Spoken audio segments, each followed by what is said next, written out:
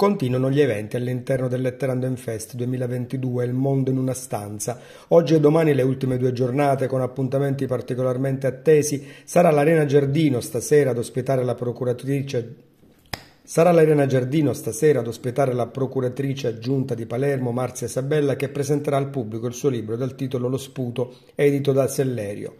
Converserà con lei il giornalista Salvatore Cusimano. Il libro racconta il coraggio di Serafina Battaglia, nota come vedova della Lupara, donna siciliana vestita di nero col capo avvolto da uno scialle, che nel 1963 il giudice Cesare Terranova denunciò gli assassini mafiosi del marito e del figlio.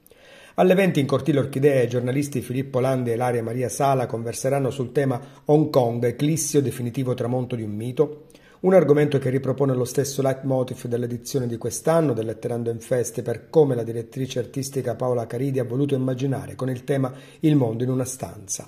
Ilaria Maria Sala è una giornalista italiana che vive e lavora ad Hong Kong, luogo che è uno dei tanti crocevie della contesa del potere, dove la sfida della popolazione al gigante cinese è argomento di dibattito tuttora aperto.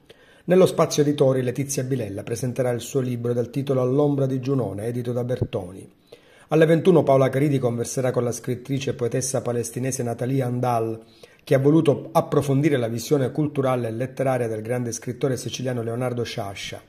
Dialogheranno proprio di viaggio in Sicilia sulle tracce di Sciascia, una bella opportunità per capire il punto di vista di un intellettuale di livello internazionale sulle capacità dello scrittore racalmutese dal Consiglio d'Egitto a todo modo di raccontare usi e mentalità della nostra Sicilia da una visione mediterranea. Questa edizione del Letterando in Fest 2022 rende omaggio alla memoria di Ada Arcuri, editrice del Corriere di Sciacca, partono i termini del bando di un premio intitolato alla sua memoria in favore di una giovane promessa della letteratura, la cui opera verrà selezionata da un'apposita giuria. L'iniziativa del giornalista Filippo Cardinale, marito di Ada, del fondatore del Letterando in Fest, Sino Caracappa. Il programma di domani, ultimo giorno del Letterando 2022. Si comincia alle 19 in Cortile Orchidea con la presentazione di La scomparsa dei dinosauri edito da Grafo Phil, l'autore Michele Pipia con il quale converserà Mariolina Bono. Sempre alle 19 in Sala dei Palchi Mattia Corrente parlerà con Irene Chies del suo libro dal titolo La fuga di Anna, pubblicato da Sellerio, romanzo di esordio per l'autore che narra la storia di una donna che esce di casa e scompare con il marito che comincia a peregrinare per ritrovarla. Ne viene fuori un'immersione nella memoria, nelle scelte e nelle azioni, da cui emergeranno verità eluse, devastanti ed impietose. Il tema della conversazione sarà proprio Sto cercando mia moglie. Alle 20, ancora in cortile Orchidea, Cetta Brancato e Paola Maggio converseranno con Evelina Sant'Angelo sul libro di quest'ultima dal titolo Non solo per amore, pubblicato da Treccani.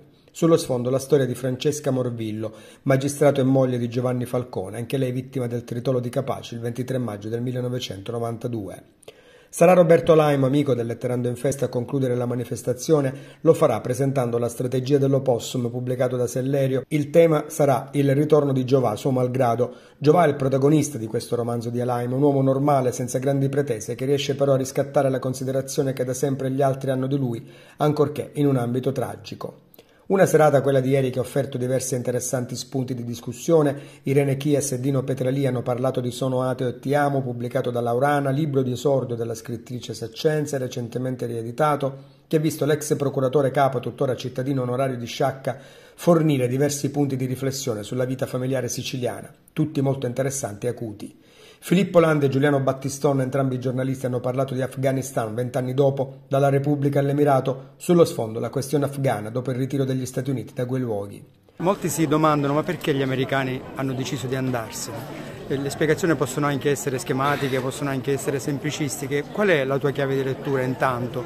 E loro cosa hanno deciso? A un certo punto non vogliamo più perdere i nostri figli per una causa nella quale probabilmente non crediamo. Sì, era già da molti anni che il governo degli Stati Uniti voleva ritirare, già nelle amministrazioni che avevano preceduto quella di Trump c'era l'idea di ritirare gli uomini, Trump non ha fatto che portare a compimento questa idea, ha fatto un patto con i talebani firmato a Doha nel febbraio 2020 per il ritiro in sicurezza delle truppe americane, quel patto però ha concesso molto ai talebani, poi il nuovo presidente Biden si è trovato quell'accordo già chiuso non ha avuto margini per cambiarlo, da qui quel ritiro disastroso del 15 agosto scorso. E sempre ieri sera in Sala dei Palchi, nell'ambito dello spazio editori, la docente e scrittrice Daniela Campione ha presentato insieme a Lilli Tortorici il suo libro dal titolo Sole, pietre e storie di regine, pubblicato da Albatros. Valentina Farinaccia ha presentato il suo libro dal titolo Non è al momento raggiungibile, pubblicato da Mondadori. Intervistata da Agnese Sinagra, la scrittrice molisana ha messo in evidenza la dimensione digitale di una giovane donna costretta a fare conti con follower e cambiamenti del proprio corpo in un mondo dove la tecnologia è ormai padrona del mondo.